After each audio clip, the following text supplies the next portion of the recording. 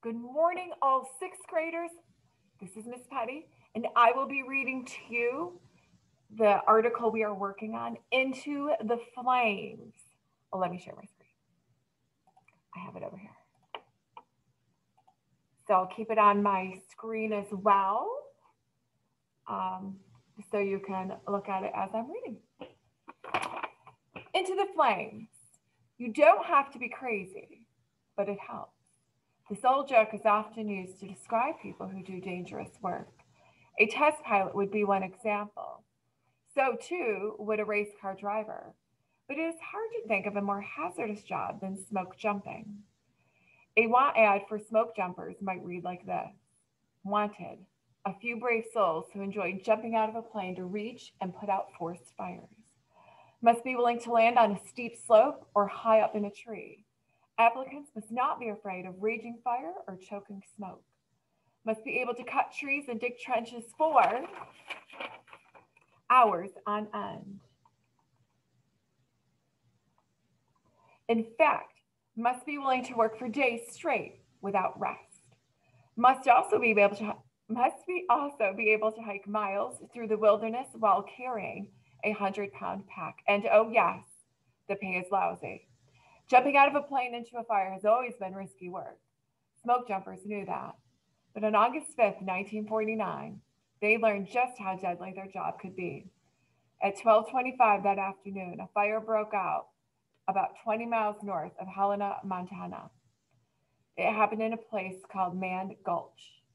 The day was hot, dry, and windy. That meant the fire would spread quickly. Mann Gulch was deep in the in the wilderness. It was far from any roads. So this was a clear this was clearly a job for smoke jumpers. 15 smoke jumpers answered the call. They climbed onto a plane and flew to the gulch. At 3:30 p.m., they parachuted into the woods. The jump didn't go well. High winds forced the men to jump higher than they had planned. As a result, they landed far apart. It took them more than an hour to find each other. Still, that didn't seem like a big deal at the time. The fire looked routine. I took a look at the fire and decided it wasn't, it wasn't bad. I thought it probably wouldn't it wouldn't burn much more than that night, said one. Because the fire didn't look bad, the group took their time getting organized. Their leader's name was R. Wagner Wag Dodge. As Dodge gathered the men together, he heard someone shouting near the fire. It was Jim Harrison, a forest ranger. Harrison had been the first to see the fire. He had been trying to fight it alone for hours. Dodge left the group to speak with Harrison. At 5:40 p.m., he and Harrison rejoined the crew. The men were now ready to put out the fire. They all headed down the gulch toward the Missouri, Missouri River. But just then, the fire, fire flared up below them. This was no routine fire at all. It was a killer. Powerful winds fed the flames. These flames leaped as high as 200 feet. Temperatures in the blaze soared to 1800 degrees. Now the men realized their mistake. They should have put out the fire once they had the chance, but it was too late to worry about that now. The fire, the fire was closing in on them. It was moving up the slope at a furious speed. Quickly, Dodge ordered his men to turn around and go back up the, up the gulch. He hoped they could make it over the ridge line and down the other side before the fire overtook them. That seemed to be their only hope. The men dropped their gear and ran as fast as they could. It was a race against death. The odds were not good. Forest fires spread faster going up a hill than down, but the men could not run very fast up the steep incline. As they scrambled up the slope, Wade, Wade Dodge had another idea. Suddenly, he stopped and lit a, a backfire. This technique was new at the time. The goal was to burn a patch of ground before the main fire could reach it.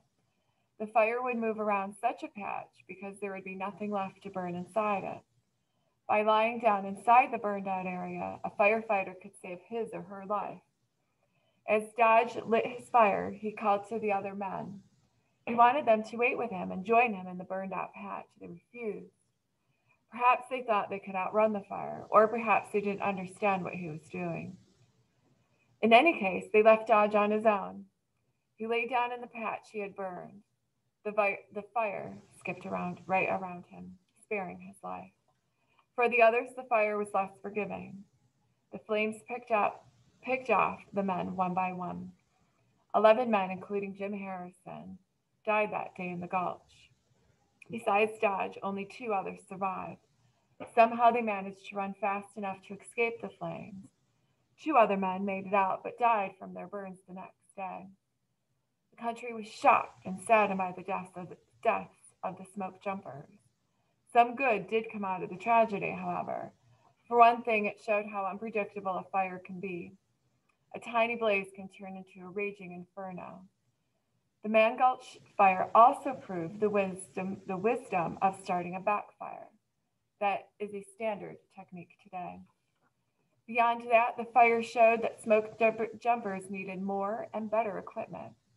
Wag Dodge's crew had just one two way radio. It got smashed during the jump, so the men had no way to talk to the outside world. Today, a smoke jumping crew will carry several radios. Clothing has also come a long way. In 1949, the men wore jeans and cotton, long sleeved work shirts. They wore baseball caps. Today, all smoke jumpers wear fire resistant clothes. They wear hard hats. Every smoke jumper carries a small rolled up shelter. It is made of aluminum that doesn't burn. This shelter can come in handy if a fire gets too close. A person can open it up and crawl inside. Then he or she can wait for the fire to pass. Today's smoke jumpers also also follow 10 strict rules. Everyone carries a copy of these rules inside his or her hard hat. One rule is to establish lookouts. Another is to know your safety zone and escape routes. Still, smoke jumping remains dangerous. It's a job that saves lives, forest, and property, but it's not for everyone. After all, only a few people would fit the description in that ad.